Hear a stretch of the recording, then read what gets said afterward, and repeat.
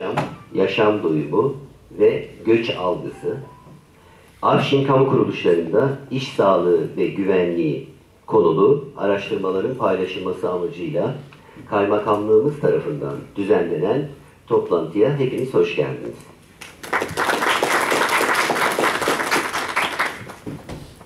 Programla ilgili duygularını almak üzere ilçe kaymakamımız Sayın Ali Edip Budan'ı sahneye davet ediyorum.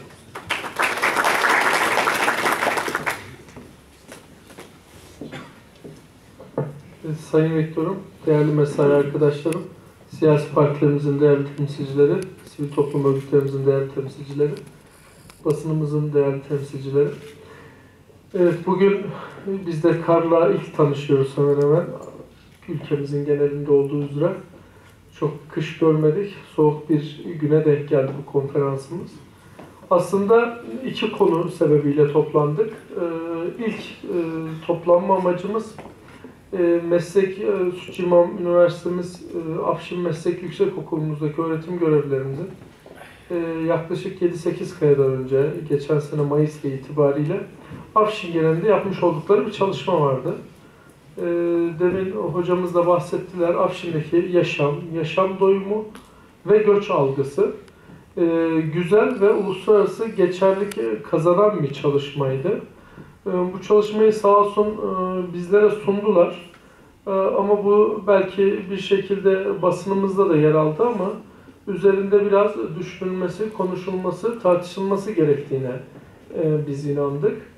Tabii sadece biz kaymakamlık kamu görevlileri olarak değil, çünkü sadece kamu hizmeti üretenleri ilgilendiren değil, aslında Afşin'in yerlilerini, Afşin'de yaşayanları, e, bir şekilde Afşin'de hasbihal olan tüm e, hemşerilerimizin bu konunun ayrıntılarına vakıf olmasını istedik.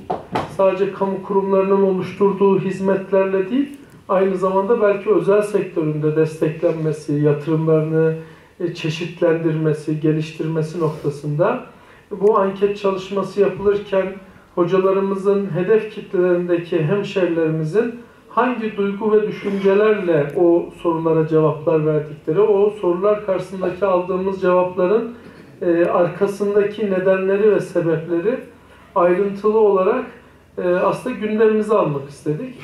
Bununla ilgili e, tabii e, sezon e, yazdı, sonra sonbahar e, bir arkadaşlarımızın başka çalışmaları da oldu. Yüksekokuldaki hocalarımızın.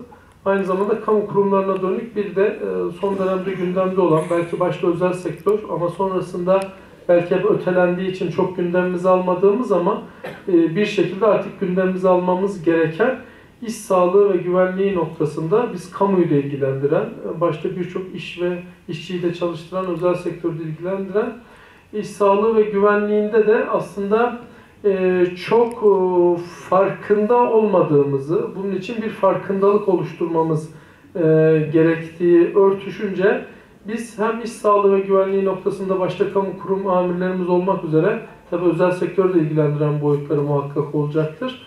E, hem bunun gündemimize alınması, bunda artık bir farkındalık oluşması 2018 geçti belki 2019 olsa en nihayetinde bir şekilde hepimiz buna tabi olacağız, uygulamalara zorunlu kılınacağız. Bununla birlikte ama asıl bir araya gelme sebebimiz ki belki parti temsilcilerimiz, e, sivil toplum örgütlerimiz ve e, yerelde e, meclis üyelerimizi ve diğer vatandaşlarımızı da görüyorum. Aslında Afşin'de vatandaşımızın belki de belli sorulara verdiği cevapların arkasındaki sebepleri hep beraber düşünelim, tartışalım istedik. Bu sebeple toplandık. Sağ olsun e, Süt İmam Üniversitesi Rektörümüz hocamız da e, bizleri kırmadı, e, teşrif ettiler. Çünkü en nihayetinde onların koordinesinde e, başlamış bir çalışmayı. Şimdi hocalarımız bizlere sunacaklar.